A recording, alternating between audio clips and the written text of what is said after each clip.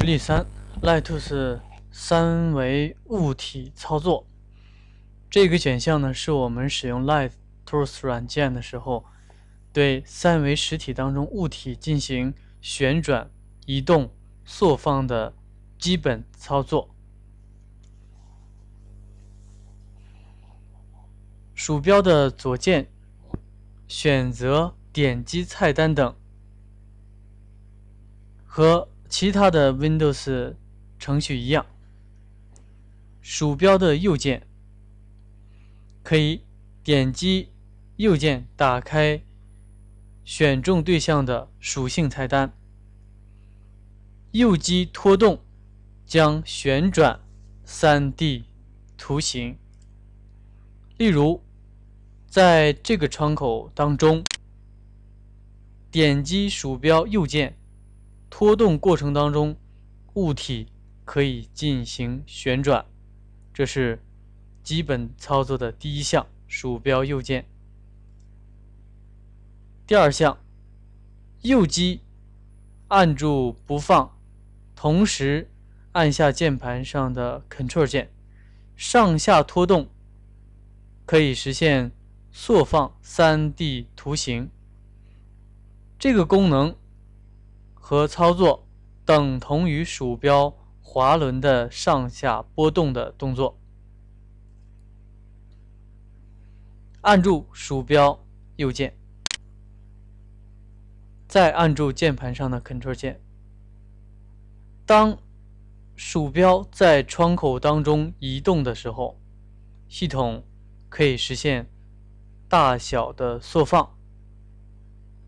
这样一个缩放过程仅仅是显示窗口，也可以采用同样的滑轮的动作，可以实现相同的功能。右击鼠标，同时按住键盘上的 Shift 键，可以对三维图形当中的显示窗口进行平移。按下鼠标右键，再按住键盘上的 Shift 键，我们可以对三维窗口当中的物体进行平移。同时，查看选项当中配合使用的还有显示窗口当中上面的栏位当中的几个按钮。放大、缩小、放大固定尺寸的选择对象的物体，让物体适应窗口。一代表一个窗口当中显示物体。四点击之后，我们可以通过四个不同的窗口来显示和选择物体。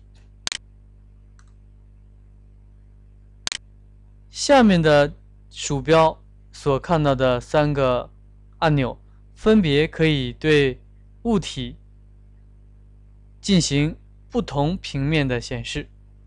第一个，XY 平面显示；第二个，YZ 平面显示；第三个，XZ 平面显示。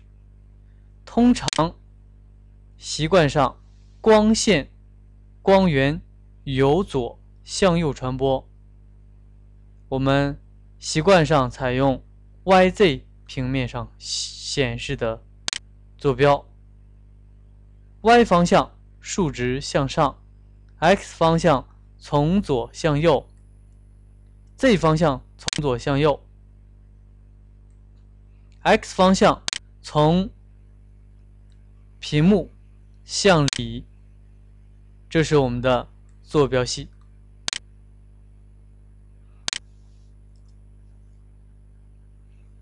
那么以上的功能就实现了在同一个窗口当中灵活的显示方式。另外，在三维图形当中，如果需要选中物体或者选中对应物体的某一个表面，我们可以采用左侧下拉列表当中的分量进行选择。如果需要选择整个物体，我们只需要在物体的最顶级进行选择。如果选择物体当中的某一个面，例如立方体当中有六个表面，六个表面对应的表面会在列表当中分别显示出。我们只需用鼠标点击选择即可。